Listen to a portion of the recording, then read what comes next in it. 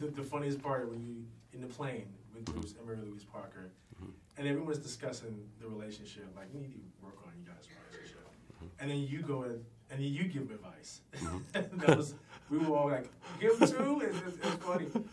What advice can you give a brother like me who's just looking for love out there? What what what what kind of sage advice can you give me to help me out with my love life? Your love life. Yeah.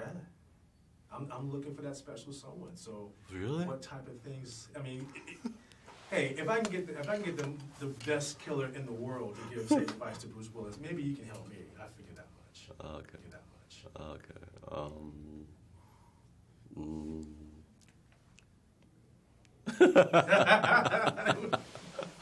Um, uh, forget about yourself. Yeah, that's the way. Forget about myself. Yeah. It's all about her. Uh huh. Ah, okay. See, very very good stuff. Very good advice. Take that with me. Okay. Thank you so much for your time. Thank you. I appreciate it. Thank you very much.